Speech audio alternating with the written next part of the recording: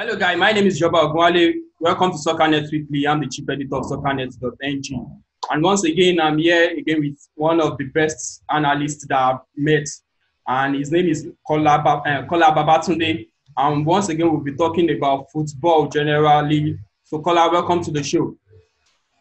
Yeah, um, it's great to be here, and thanks for having me, Joba. I understood the fact that uh, you couldn't really call my name because Arsenal gave Liverpool a bashing yesterday. But it's one of those things. Uh, just one of those things. Well, who cares? We won the league already, so nobody cares about whether we well, that's true. That's true. But that's true. Anyways, but you know, at least it's some bragging rights for us. Yeah, know, yeah, yeah, yeah. In this very you know blurry season and all.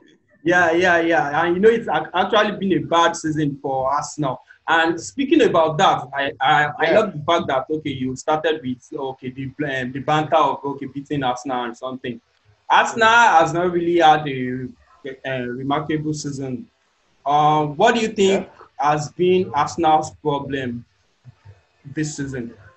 Well, um, a lot of things, um, and it isn't what um just started this season. Um, it, it has been uh, a string of events from you know the past a few years, right from the time uh, Arsène Wenger left, which some people thought it was a little bit too late, which I agree with that school of thought, up to in Emery's uh, you know time where we thought, okay, we probably we're, we're on to something, onto a project, and the project capitulated at the end of last season, and this season the thing, you know, as three managers already.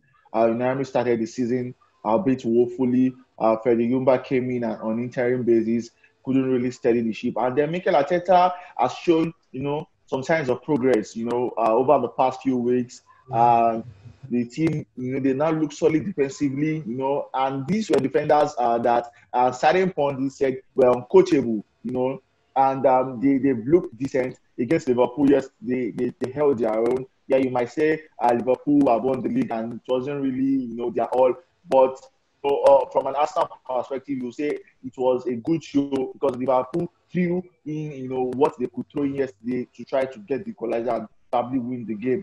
So it's it's been a, a bad season, just like you stated earlier for us now. But uh, on the basis of what Arteta has shown over you know the, the, the, past couple of weeks and months, it is um, there's a little bit of positivity, you know, of optimism going on around the Arsenal camp that uh, maybe this guy is onto something, and it looks like one that isn't ready to, you know, to to just come there and settle for less. Um, few days ago, he called out the owners, uh, you know, uh, on spending that can't just, you know, magically build a team that will compete.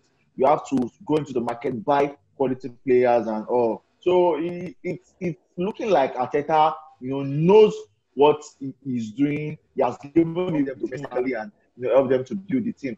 But we never can tell it is us now. You can't say this is going to go this way or that is going to go, you know, uh, that way. But as for us now and Mikel Arteta, they look like they know. Arteta look, looks like he knows what you know he is doing, and he just needs the backing of the board.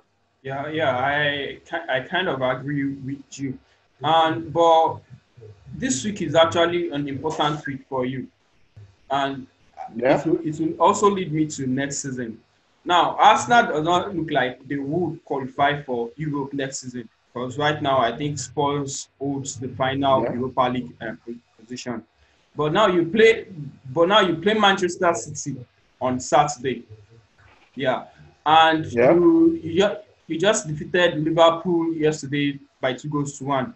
Do you think the win over yeah. Liverpool will give you confidence going into the clash, knowing that okay, you lost earlier um, when the league resumed by three goals to nothing at the Etihad Stadium? Do you think the morale, um, well, the morale will be boosted after uh, that Liverpool win going into the clash against City on Saturday?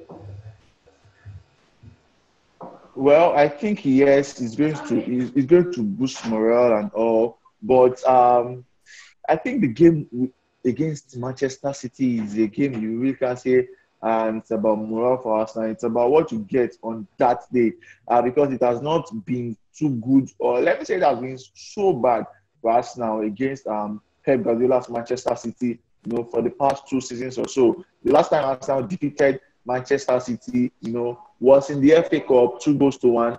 Um, the Arsenal went on to win um, the the, the title against Chelsea in the final. I think that was in 2017. That's three years ago. But we can't, we, we really can't but, you know, acknowledge how well uh, Pep Guardiola's Manchester City, you know, has grown since then. That was his first season in the Premier League.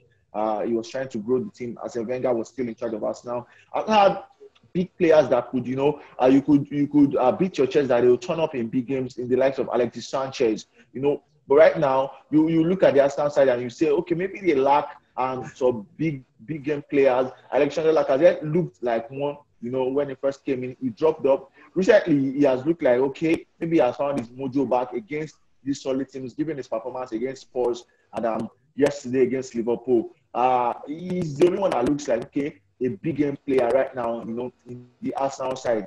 And that has always been Arsenal's problem against the top side. They tend to capitulate and, you know, you don't have this clutch player. You don't have this player that takes things by the own and, you know, tries to drive him, you know, to, to victory against the top teams. And going by recent, you know, showings against Manchester City, Pep Guardiola's Manchester City, you could say there is really no hope for us now. But just like you pointed out, they, they should probably draw morale from the fact that they defeated the champions. But let's not forget these same champions, you know, were defeated 4 0 by Manchester City, you know, just some weeks ago. So you could say Arsenal defeated Manchester, uh, Liverpool, Manchester City also defeated Liverpool. So these teams are capable, you know, of, of you know, pulling something off against Liverpool. It's going to be a different ball game, you know, and it's going to be an FA Cup semi-final. We all know how Pep loves, you know, to go for every trophy and fight for every trophy available. He has a squad depth. He rested the likes of Kevin De Bruyne against Bournemouth, you know, and they still somehow, you know, found victory. KDB has always been, you know, a turn in the flesh of Arsenal. All these things come together, and you might say, okay, Arsenal do not have a chance against Manchester City, but it is football, and anything can happen. Yeah, well, it's one of the games to look forward to this weekend, and I'm sure I hope for Arsenal's fans' sake, for your sake also, I hope you guys win because uh, uh, it's actually been a really, really, really dark season for for for for you for you guys. You guys are hoping to. I, I think. I think if Arsenal manage to, you know, find victory against Manchester City, I think it's going to be a landmark victory, you know, in the Mikel Arteta project, and um, it's going to um, be something that might spur and the Arsenal team on, you know, to to achieve great things come next season because uh, if they can defeat Liverpool and Manchester City within the space of you know a week, um, it's going to boost their credentials and you know things will probably start taking them serious. You know from from um, uh, that victory if they can you know manage to find a victory against Manchester City. Manchester City, yeah. Well, we'll, we'll be looking forward to that. But moving away from uh, from Arsenal, um, there's uh, let's come back home. Not really home though. About our players you know, it's actually a busy period right now. The transfer the transfer window has opened. Now, some of our players are on the move, while some are preparing to make the move. But um, I would like to speak on two particular players. But first, let me start with um, Maduka Okoye. He moved to, he joined Sparta Rotterdam, uh, Rotterdam um, Eredivisie club um, in Poland on a two-year deal with an option to sign for another two years, depending on performance. Uh, what do you make of the move? You know, he was playing in the fourth division in the in the German league, but now he's made the grade to the Dutch top flight. What do you make of the move, and what does it mean for Gernot, well, the Super Eagles manager? Well, uh, I think um, personally, um, the move um, should be a great one for uh, Maduka Okoye. Like you pointed out, he was in the fourth division in Germany with uh, Düsseldorf. And um, now he has made the leap to the first division in Holland. We don't know if he will become the first choice. There's another question. You know, there's a difference between making a move and, you know, actually getting playing time. Um, but he, he's a decent goalkeeper, a bit in my eyes, not too great but a decent one given the, the, the, few times I've seen him play. Uh, hopefully, the move is going to be one that's going to be good for the Super Eagles and for him personally. You know, probably work with a better goalkeeper trainer and gain you know more uh, top like experience, get more exposure. But he's just 20 year old. He has his future ahead of him. You know, it depends on how hard, how how, how uh, well he wants you know success in his career. But it's a good move for him. I just said of uh, last season, I think he made about 14 appearances, considered 26 goals, which is really, you know, uh, a, a, good record like that. That he averages um, um, almost two goals, you know, considered per match, and he had just two clean sheets. Uh, but as Sparta Rotterdam, I expect him, you know, to uh, face more competition, which will probably uh, help him develop his skills more, which will be a good thing for the Super Eagles. And like you mentioned, you know, after the movie said, uh, the, the, the his debut with the Super Eagles was a massive experience for him. I think that that, that was the biggest stage, you know, in his career that is, you know, getting that appearance for the Super Eagles. And I think he are putting more, you know, in, in, in the eyes of the world, which will probably have been one of the factors that brought about this move, you know, for him. So it's a great move for him, and he's not going to be the first Nigerian to play for Sparta Rotterdam. You know, I think Sani Keita, the yeah. infamous Sani Keita also played, and you know, one other super player featured, you know, for this side in the past. So I expect the Dutch league is a great place, you know, for you to develop, especially. Uh, so I expect him to to to take his opportunity and let's see how it goes. He's just 20 years old, so uh, as you know, goalkeepers they keep into their 30s, you know, late 30s for the ones that their body permits. So he has his future, you know, ahead of him.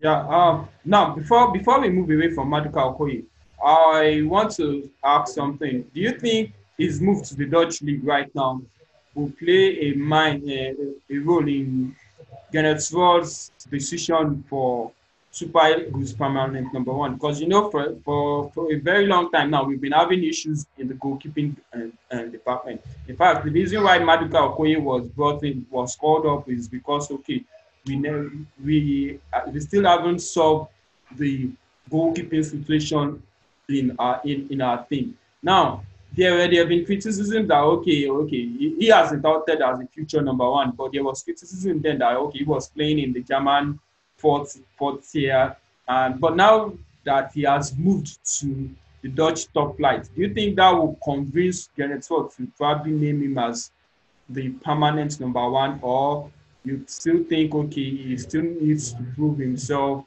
both on both in the Dutch, uh, Dutch top flight and probably in some of these African Cup of Nations qualifiers that we have. I think there's one thing I appreciate about Gernot Rohr, despite the fact that he tries to keep a you know solid spine, you know, in the Super Eagles team, he also you know uh, praises performance, you know, and um, he plays um, these players uh, going by how well they, they, they play for their club and you know in the Super Eagles. I think um, him moving to the um, Dutch top flight will not automatically, you know, guarantee him a starting shirt in the Super Eagles. I still think he needs to prove himself and needs to, you know, show up every time he's called upon that I deserve this number one place. And like you pointed out earlier, the goalkeeping spot, you know, is there for the taking. Uh, since um, Carl Ikeme unfortunately uh, had to uh, drop out from football, we've not we look like uh, we've not found a replacement since that time. Johnny Akpeyi, you know, flatters to deceive you know, for his club, he puts in great performances, super Eagles sometimes, but generally you have this jittery feeling when you have Daniel Akpeyi, you know, in goal. Uzo also, you know, a good goalkeeper, decent, but you still feel like he has something uh, that could still, you know, uh, develop a little bit of refinement, you know, in Uzo. So the goalkeeping position is there for the taking, and it's up to Maduka Okoye to step up. But I don't think Gernot is going to automatically give him that spot just because he made that move to Sparta Rotterdam. I think he needs to to earn it. Yeah, yeah, yeah. I I kind of agree with you because when I was in Uyo last time when Super Eagles played, I asked uh, Rohr this this same question, and he said he, he, he has not even moved to Sparta Rotterdam. Then he Rohr was like, okay, he's not going to throw him into the fray right right away because he still needs a little bit of experience and he does not even have experience of African foot. African football yet. So I think I, I agree with you. Uh, but moving away from Maduka Okoye, there was also, before we move to Osimhen, which is actually the big news, there was, there's one thing I would like to ask you. There was also this um, move from this player, uh, Cyril uh. He moved from um, in, in, in Holland to Genk in Belgium. Now, he finished as the Dutch league's top scorer last season with 15 goals and four assists. And I I think I don't know if you read the piece that I wrote that okay, his move to Genk in Belgium means probably means it's not better than what we currently have because everybody was out there was like was celebrating when he decided to switch international allegiance to Nigeria. Now, what do you make of the move moving from a Dutch league to a side in Belgium that did not even qualify for Europe. They are not in the Champions League, they are not in the Europa League. Genk finished seventh in the Belgian top flight last season, last season. What do you make of that move? Do you think for someone was like, okay, saying it's a developmental league, so it's its development, you understand? But I was like, okay, this is this guy is 25 already, and he finished as a top scorer in Holland. Previous, if you look at if you look at previous uh, players that have finished as top scorers in Holland, the likes of Van Nistelrooy, they've made the grade to one of the top five leagues in Europe. So why is it that okay, Dessers is moving from Holland to a mid-table side in Belgium, not even a top side in Belgium? I think um, looking at it, we will look at it, you know, in different angles. Uh, probably a lack of self-belief. You know, I um, probably an imposter syndrome of not wanting, you know, to be found out. We could say that. We could also say, okay, uh, it feels like he still needs, you know, to to play in a league, you know, with less pressure uh, before making that big move. But even if you still feel like you, you do not need that big move, uh, I don't know if Irving forced him out of you know that side, which is very unlikely as he was a top scorer last season. I think he, he needed to have stayed with Irving in the Dutch league you know, even if he still wanted to develop, not going from the Dutch league to the Belgian league, not even a top side in the Belgian league that will probably play in the Champions League. It's a side that finished seventh position for um, uh, his credentials and for uh, his um, his Super Eagles. Um, how would I put it? For his current uh, fight for the Super Eagles starting shirt, I think that move was not good. You know, for his career. Uh, you see the likes of Osimhen wanting to move from Lille to Napoli. It, it's a move, you know, that you could say he moved from uh, a, a, a, smaller club to a bigger club, you know, in Lille to Napoli. Uh, these players that, that want it, that feel like they are good enough to get it. Cyril Dessers, for me, made a bad move for his credentials. But let's see how it goes. Let's see if he reaches, you know, the Belgian league apart. And from there, you, you probably move to a top five league. But as of this moment, I, I don't think the move, you know, was a um, great one for him. And I, I quite agree with you. Yeah, yeah, yeah. Now, you said something about um, Osimhen moving from Lille to Napoli, which is actually the uh, main point of discussion today. The trans, the his future has been like a subject of debate all summer Ever since he scored 18 goals in 38 appearances for uh, Lille in his first season, it was obvious that okay, okay, he, he was going to attract interest from several top clubs in Europe. Now, he has been in discussion. Napoli have been leading the race, are leading the race to sign to sign him, and he was even in Naples last two weeks or so to discuss with the club uh, officials. You understand? Well, the transfer saga has been going on, has been, has been going on for so long that it's even getting tiring. But right now, what do you really? Let me uh, let me start by asking you that. What do you really make of the move from Lille to Napoli? Do you think it's actually a good move for him? Because there has been debate about okay whether it's actually a right, it's the right place for him or it's not the right place for him. Well, for me, uh, I, when I first got the news, uh, I asked um, why Osimhen wants to, you know, leave Napoli, um, Lille after just a season, after a first uh, great season in the French league, Ligue 1, and um, 18 goals in 38 appearances. Why not just stay in France and you know continue developing? Because I've always seen France as a very technical, you know, league. People might say farmers league and all, but I've always seen them as a league that produces, you know, the best players in the world. Their football is technically, you know, great. It's, it's a place where you can learn to really play well without too much pressure, you know, on your skills, you know, and develop yourself. Why I, I don't, you know, like the from that. Uh, but for Napoli, as a football club and the kind of football they play, you could say, okay, yes, it is great football and it will be right for him. You watch the likes of uh, Mertens, Milik, Callejon, you see here, and you, you love the way they play. You know, their sleep football, regardless of the manager, whether it is whether it is General Gattuso, their build up has always, you know, been uh, you know, a joy to watch. Uh, I think Milik, about losing Milik, uh, but they still have Mertens and Insigne, uh, which I think is going to be a lot of competition for Osimhen. He probably believes in, in himself, which is a quite an opposite of what we, we spoke about with Cyril Dessers. He believes he can go there, you know, fight for the starting shirt and show himself, you know, the Serie A and in the Champions League. Let's not forget that Lille are going are not going to the Champions League, you know, next season. Napoli looks like they might, you know, go to the Champions League next season. That might be one of the things, you know, that influenced the decision. But if he, he wants, you know, to, to keep get, getting, you know, starting playing time without, you know, really getting uh, a lot of stiff competitions, I would have advised him to stay at Lille. But going to Napoli, he would need to, you know, um, up his game because Dries Mertens is a very, very good striker, you know, that he has to go up against. So, yeah, yeah, but it, yeah, but it, it's a mixed feeling for me. Yeah, you know, the issue actually is people are saying, okay, you should stay at Lille at least for one more season. But I think the problem right now is not it's because of of Lille's model. Lille bought him for 12 million euros from Royal and Charleroi. And Lille's model is always to buy a player cheap and sell him big.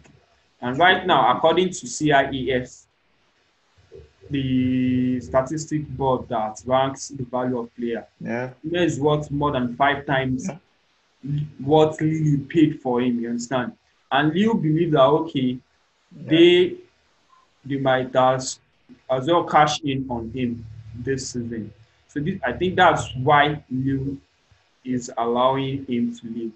But the problem right yeah, now. Yeah, exactly, exactly. Well, from from the club perspective, you are quite right. I do not fault Lille. You know, they are a club that they, they need to survive. They are not, you know, the biggest, you know, uh, club in France in terms of, uh, you know, money, monetarily. So they need to make profit as much as possible. You know, but uh, my own perspective was from Osimhen's angle. Uh, but for Lille, I think it will be good for them regardless. They are going to make profit. Uh, rumors rumors have it that um, he's going to go for nothing less than 18 million. Yeah. If he, he, doesn't go for less than 18 million, that would be a brilliant business for for Lille. Even as an Arsenal fan, if you know uh, Arsenal get a player for 12 million and you want to sell him for 50 million, after just one season, I'm to advise the board to, to, to cash in because that's a huge profit that you can continue, you know, using to develop your squad on the yeah. long run. Yeah, yeah, yeah, yeah. I, I agree with you. But um, I, I, I also agree with you in the sense that I believe Osimhen will fit in perfectly at Napoli. Although you said something about um, um, Mertens, I don't think he will really need to compete with uh, Dries Mertens because the way Napoli plays, even when Milik, um, uh, Mil- I think he's coming in to replace um, Milik. And Milik and Mertens, I've seen them play together in a couple of in, in, a couple of games. So I think the style, their style are two different styles. So I don't think he will come in to compete with uh, Mertens. People are worried about okay, maybe Napoli is actually the right club for him. But I think probably those people have not seen Napoli play because for a striker of Osimhen's quality, I think he will fit in into Napoli's style of play. Yes, they have General Gattuso, but a major aspect of their of their game is still based on the precepts of um, Maurizio Maurizio Sarri. Then you understand. So they play beautiful football. If you look at their build-up play from the back, the way they move the ball quickly, you understand. So I think Osimhen will fit in, will fit, will fit, will fit in perfectly. The only issue I have about yeah, him moving yeah. to Napoli is because of the owner and De Laurentiis. You understand? De Laurentiis is yeah. probably the um, Serie A Daniel Levy. You understand? Exactly, exactly. So, so, so it's it's not because, for example, let's say Osimhen did well at Napoli in the next uh, for for two, for the first two years or so. Because of the ridiculous way, as in transfer clause Napoli may include in the deal, he may not be able to leave immediately. You understand? So I think that's the issue that I have with him with moving to Napoli. But aside from that, I think Napoli is actually a good club for him. He's still uh, he's still in his yeah. He's still just 21 years uh, years of age. So I think he still have about 10 year uh, about nine to 10 years to play to to play football, and it's not he has not even reached reached his peak. You understand? And this is yeah. Napoli has shown right from the onset that they are really really interested in him. In fact, I read it somewhere that General Gattuso decided to give up um, give up um, some of some portions of his wages just for clubs to raise funds to so, to sign the Nigerian. So this shows that okay, they, they are really really serious about bringing Osimhen to the club. And uh, uh, contrary to reports, also I think he was.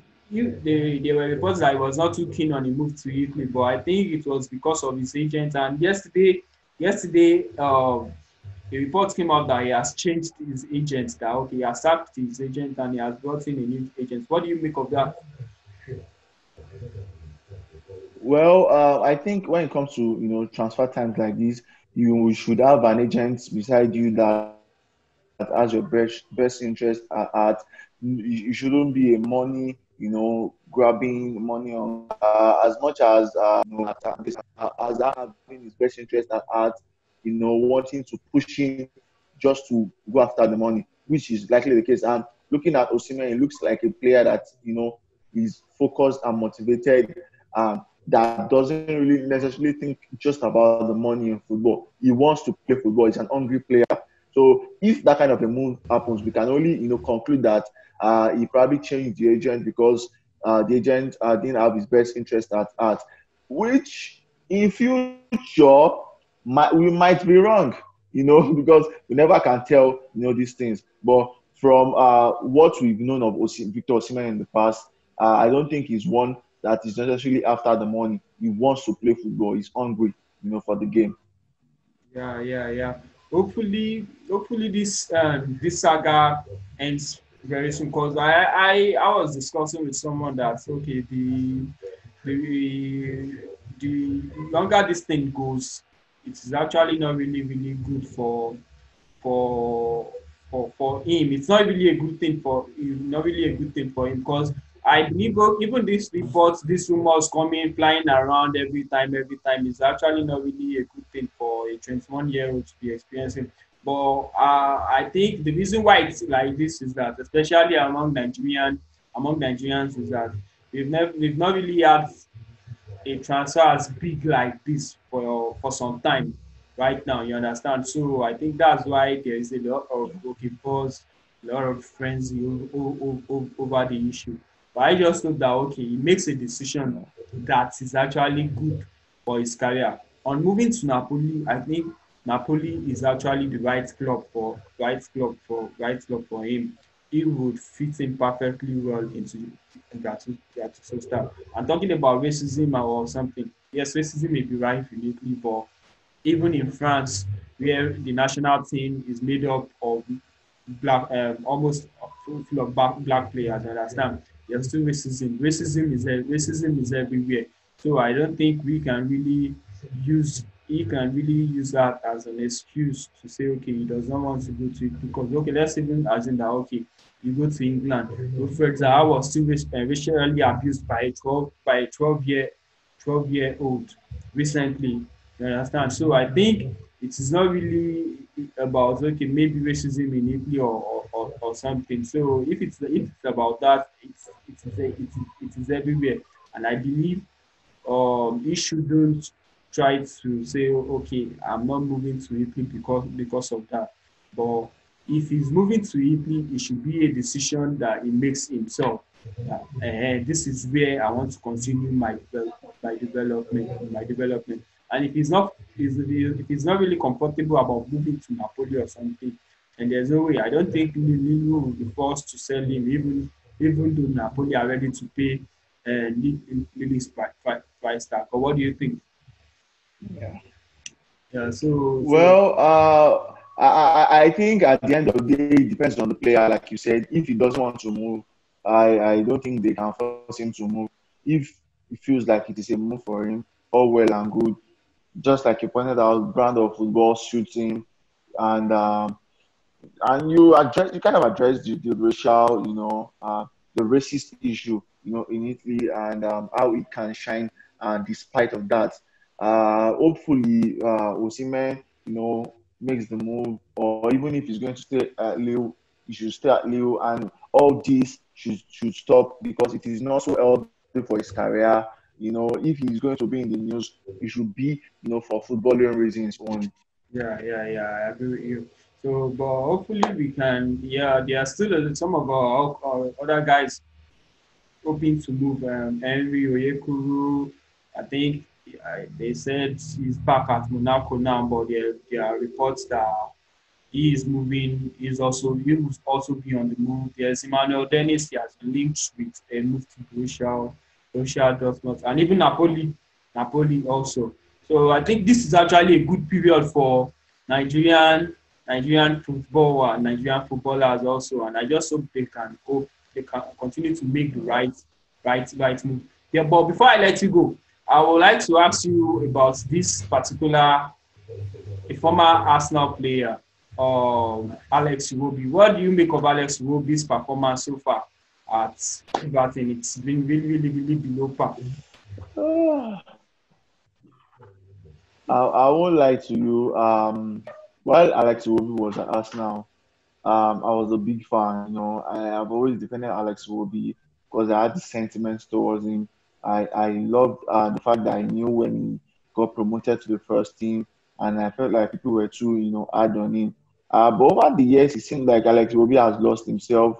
Uh, we might we might we might say that he, he became a victim of his own versatility because I think um, moving him out wide, you know, in the Arsenal team uh, was the beginning of uh, everything that is you know going on with Alex Iwobi right now. Personally, I still feel like his best position is centrally, you know, where he can keep the ball, he keeps the ball so well, drives the ball so well. Uh, but his end product has always been, you know, the questionable part of his uh, game. If uh, you can't, I always tell people, if as a player you can't be so productive, you know, in an Arsenal team, I, I mean, you know, the stats that the fans go for assist goals, it is not likely that you go to an Everton side and you know suddenly develop your you know your statistics. Especially looking at this Everton side, the way they play, they mark for the large part of the game and try to play on the counter.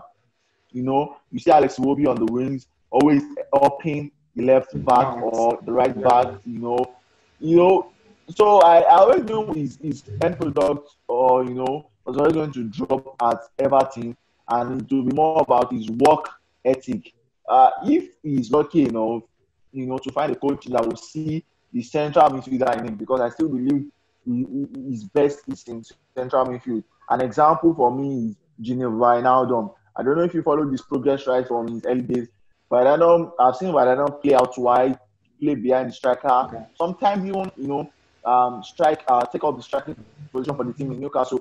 But under Jurgen Klopp, he was developed into a central midfielder. Statistically, you might look at Gini Wijnaldum and say he doesn't give up much assists or score more goals, but his ball driving skill, uh, press, you know, beating skills, and you know, ball carrying skills help the team a lot, especially in a team like Liverpool. You know, where as a central midfielder, you are not really required, you know, to make that run into the box always and get the goals or the assists. So I think I see Alex Iwobi in that mode. If he continues to get played out outright like he's currently doing, I don't think he's going to get past, you know, this Alex Iwobi that we're seeing, which should be quite unfortunate because uh, I liked Alex Iwobi, you know, you know, uh, while he, got promoted to, to the team right from, from his developmental stages, you know, in Arsenal Academy. Yeah, yeah, yeah. I agree. I agree. I agree with you. I think it's actually his best role is that central central position. And if you look at his time at um, his games he has played for Everton, which which is funny because he started his time at Everton. Um, he started well, very, very well. He scored, I think he scored in, against Wolves and he scored against Lincoln. FC in the League Cup. You understand? We think that okay, probably everything will give him that freedom. That with, no more pressure on him at Arsenal, probably will, give, he will get the freedom to play.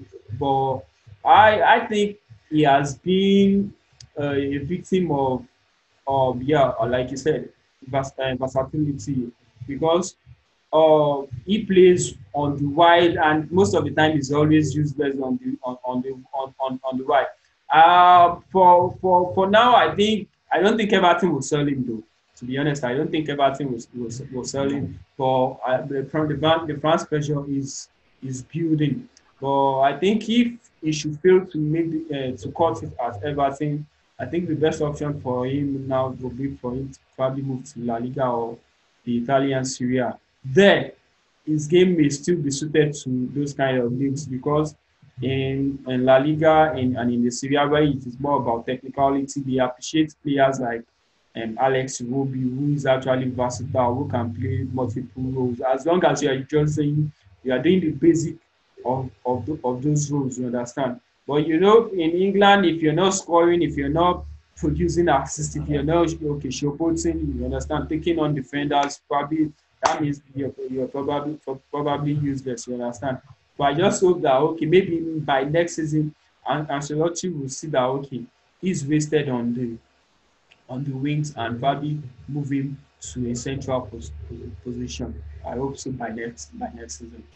So, anyways, um, uh, thanks for we've come to the end of the show, and I would like to appreciate mm-hmm. you for, for joining us on this week's show. Yeah, you understand it's really, really been really been informative, exciting, especially the way you analyzed Arsenal struggles and yeah, that's, yeah, understand. But I hope oh, for your sake, Arsenal wins on on Saturday they beat Manchester City on, on, yeah. On, we'll keep our fingers crossed and you know, thanks for having me and it was, you know, great. It's always great to, to talk football with you, you know, both online, offline, you know, audio, visual, anywhere. Yeah, yeah, yeah, yeah, yeah. it's always yeah. great. Yeah, and I hope probably when we meet you again, you'll, you'll be kind enough to answer to our call.